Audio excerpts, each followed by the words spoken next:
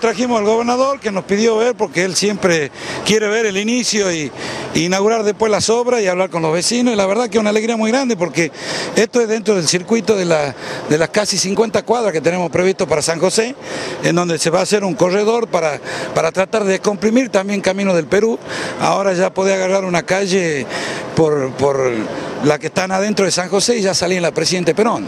Ya prácticamente evitas todo Camino del Perú, la rotonda de la Presidente Perón y, Camino del Perú, lo cual eso también le da más tranquilidad y más seguridad vial.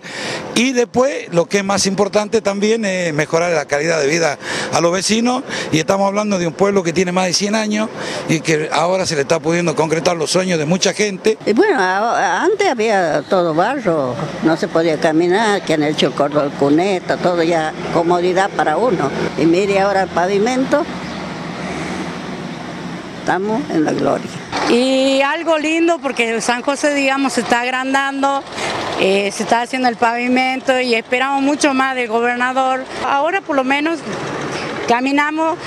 libremente, tenemos por lo menos los pavimentos que se está haciendo acá en la zona. Esto es con ayuda del gobierno de la provincia, con recursos propios, y es lo que yo siempre digo, y todo vecino de Yorabuena sabe, el fuerte apoyo que nos da el gobernador Alperovi para poder concretar estas cosas, que realmente nos hacen, nos hacen quedarnos tranquilos y llevarle tranquilidad a los vecinos, porque mientras haya un Estado que le devuelva al vecino en obra, quiere decir que estamos bien.